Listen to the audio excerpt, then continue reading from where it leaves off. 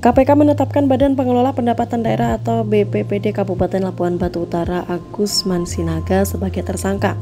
Ini merupakan lanjutan dari kasus pengurusan dana alokasi khusus atau DAK dari APBNP 2017 dan APBN 2018.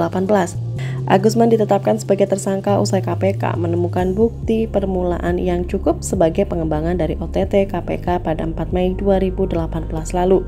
Sebelumnya, enam tersangka lain sudah difonis bersalah oleh Majelis Hakim Tipikor terkait kasus ini. Untuk kepentingan penyidikan, Agusman kini mendekam di rutan KPK selama 20 hari ke depan terhitung sejak 12 November 2020 sampai 1 Desember 2020. Itu emang dari orok sering menerima suap, Pak? Pak, sejak dari janin begitu kelakuannya emang. Oke, cukup. Ya, sip.